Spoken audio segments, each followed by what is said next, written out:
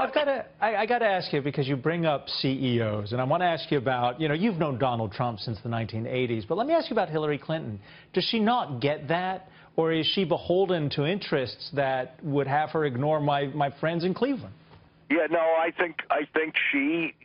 What I said get. She's an intelligent woman, and I think she understands what the Democratic Party, you know, the, the, what Obama wanted. Look, Obama is certainly a nice guy, I guess, but but I don't think he understands business. Nor does Hillary Clinton. Hey, but neither of them ever really created a job, and and so I don't think they understand the business climate. And what they look at is, uh, uh, or Bernie Sanders for that matter, they just look at business and in a socialistic bent in a way. You, you, that's why uh, communism never really worked because people work for incentives. That's human nature, right? So you go in and they just say, well, you know what? We'll let the government run this. We'll let the government run that. And when the government runs it, you look at education. It, it doesn't work. So the whole concept doesn't work what they're talking about. You, you, bring up, you know, you bring up communism. I mean, the communists are, have just endorsed Hillary Clinton. But let me come back to Donald Trump because you, you, have a relationship with this man. I mean, in the 80s, you bested this guy. You doubled your investment when you bought the bonds uh, regarding uh, Trump Taj Mahal because he was in some trouble. But you said a year ago that the reason you were backing Donald Trump, and this is a quote, because you want someone that's not beholden to an establishment. So we need a president that can move Congress, and I think Donald Trump can do it. Do you still think he's got the, the, the wherewithal to move Congress? And second part, you've said you don't want to be his Treasury Secretary. Why not if he can do this? Well, to begin with, begin with, I, I have 10, 15 companies. I've, I've worked hard all my life building some companies up, and uh, I enjoy doing what I do. I, I think I'm late in the day for me to start going to Washington and working for somebody. But that's not the issue. The issue really is you know, I'd be happy to be in some kind of kitchen cabinet. I would never, you know, join a cabinet or anything like that. Mm-hmm. But what I will say is that, you know, you look at things simply. The reason I made a lot of money, sometimes it just hits you over the head that this is a great deal. Well, this is a simple truth. And, you know, it takes time to understand a simple truth. It's a simple truth today that we are in major trouble in our economy. Now, sometimes it takes years for that to come to fruition. But I will tell you, if you look at the numbers today, mm-hmm. with zero interest rates out there, we still can't really make profits in our companies. The profits are manufactured, as you said, by buybacks.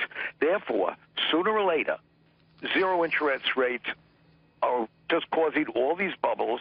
And when I say bubbles, you know, you have retirees out there that plan on making 8% on their money. They're going to retire, go out to Florida, wherever they go, go into the sunset. It's beautiful. We worked all our lives. We have a million bucks, a half a million bucks, 300000 Not as the stock market tanks. No, so they go in, and they, they can't get return on their money from bonds, right? right. Because obviously zero Fixed interest income, rate. Yeah, not, or so they have to take the risk. They got to go into the bubble and they buy junk bonds or they buy stocks.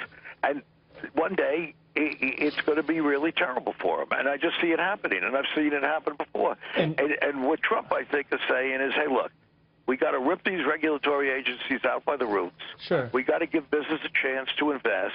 We got to repatriate. I mean, that's another crazy thing that we've done for, for four years.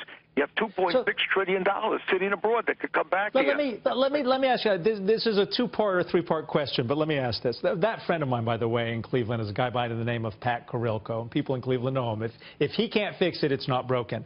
But this goes to the issue that not only confronts Pat, but 3,000 people who work at the steel mill where he's working. How do you get jobs to come back from China? Because Pat once worked for LTV Steel. They went bankrupt, 12,000 jobs gone. And the mill got sent to China. How do you get that back? That's not.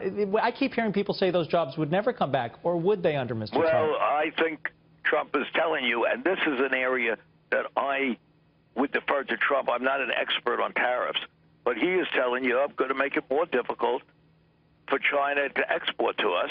So I'm going to help the steel mills. But I will tell you, I will tell you what I've just said to you, that I think if you stop these crazy regulations that we have, and I mean, I'm telling you they're bad, and I'm going to spend time on it. That's one of the reasons I didn't go on the economic committee because then I can't start a PAC. Mm-hmm. But I really think, for the good of this country, we are just completely, totally overregulated. We have thousands of workers, you know, bureaucrats in Washington that just regulate. They're not bad people.